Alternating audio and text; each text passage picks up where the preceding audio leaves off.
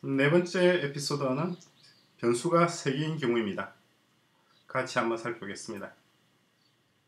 지금 보다시피 변수가 x, y, z 3개이고 그리고 식도 포뮬라도 3개가 있습니다.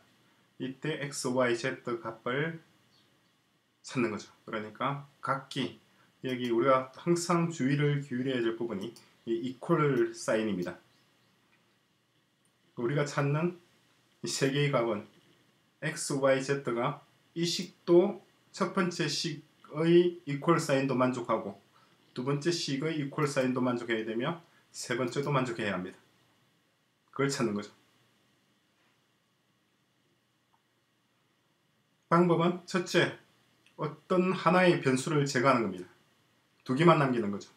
지금 보다시피 y를 제거하고 x와 z만 남겼습니다. 그래서 첫 번째 두 개, 첫 번째와 두 번째의 식을 이용해서 하나의 변수를 제거했고 또한 두 번째와 세 번째 식을 이용해서 역시 y를 제거를 합니다. 그것이 a와 b가 되고 따라서 a, b는 이제 두 개의 변수만 남아 있습니다. 두 개의 변수와 두 개의 식이 있죠. 따라서 우리는 이 두 개의 값을 알 수가 있습니다. 그 결과 나온 것이 x 그리고 z값 x와 z값이 나오면 이것을 원래의 식 중에 어느 하나 셋 중에 어느 것이든 상관이 없습니다. 대입해서 z값을 찾아내면 됩니다. 이때 찾아지는 z값은 어떤 식의 대입을 하더라도 동일해야 합니다. 첫 번째 식에 어, 죄송합니다. y값이죠. x와 z값을 대입해서 도출되는 y값과 두 번째 식에 대입해서 도출되는 y값 세 번째가 다 같아야 되죠. 다를 수가 없습니다.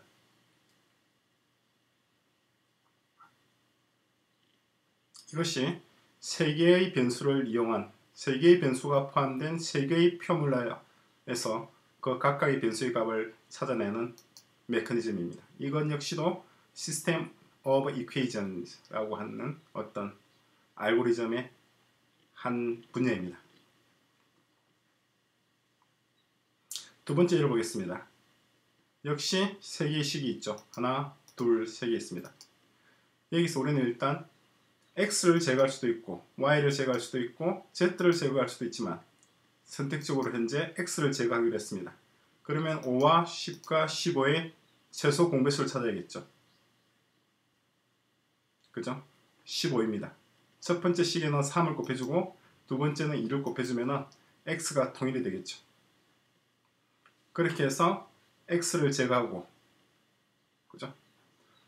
y를 y와 z가 남은 상황에서 각각의 변수를 제거 찾을 수 있는데 그런 단계를 몇 번 진행하다 보니까 바로 제로 이꾸는 제로가 나왔습니다. 이 말은 무슨 말이지 하니까 이 세 개의 시간 하나, 두 개, 세 개의 식은 세 개의 직선을 표현하는 세 가지 형태에 불과하다는 거죠. 사실은 하나의 직선입니다. 주의해야 될 점은 x와 y만 있는 경우에는 2차원 평면 공간이죠. 그런데 z가 있다고 하는 것은 3차원 입체 공간을 의미합니다. 즉 3차원 공간을 가로지르는 직선이 하나, 두 개, 세 개가 있는데 이 세 직선이 사실은 하나의 직선이란 말이죠. 다음 예를 보겠습니다.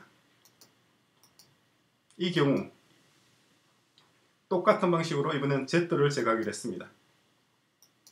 그러면 첫 번째 식에는 3을 곱해주고 세 번째 식에도 3을 곱해줘서 첫 번째와 두 번째 식을 통해서 Z를 제거하고 두 번째와 세 번째 식을 제거해서 통해서 Z를 제거한 다음 X와 Y만 남아있는 두 개의 식으로서 우리 XY 값을 찾을 수 있습니다.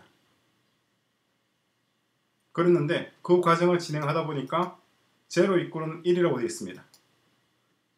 즉 이거는 어떤 경우에도 틀린 문장이죠. 이거 0 이퀄 1이라고 하는 문장이 참이 되게 하는 어떠한 x, y, z도 불가능합니다. 이것은 무슨 말이냐니까 이 세 가지 직선, 세 개의 직선이 만나는 지점이 없단 말입니다. X와 y 두 개만 있다고 하면 평면이겠지만 현재는 입체잖아요. z까지 있는 그 입체 공간에서 세 개의 직선이 만나지 않는다는 거죠. 물론 두 개의 직선은 만날 수도 있겠습니다만 어쨌거나 세 직선이 만나는 지점은 없습니다. 자 그렇게 해서 연습 문제가 있는데 연습 문제를 풀기 전에 이 식들이 의미하는 바가 무엇인지 한번 다시 한번 생각을 해보겠습니다.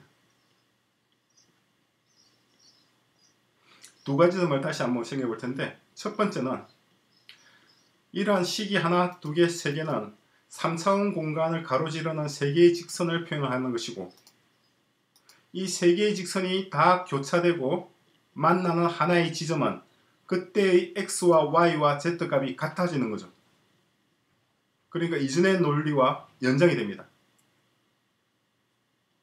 그런데 그러한 경우는 굉장히 특수한 경우입니다. 즉, 이 식을 세 개의 만족시키는 XYZ를 구하는 것은 매우 매우 희박한 경우의 수이고 대부분의 경우 99.999%의 경우 우리가 임의로 X 앞에 코에피션트를 임의의 숫자를 넣고 Y에도 임의의 숫자를 넣고 그러니까 하나, 두 개, 세 개, 총 아홉 개의 코에피션트가 있죠. 이 코에피션트를 임의로 선정해서 숫자를 할당을 한다고 가정하면 그때 x, y, z를 만족시키는 값을 도출할 확률은 0.001%도 안 된단 말입니다.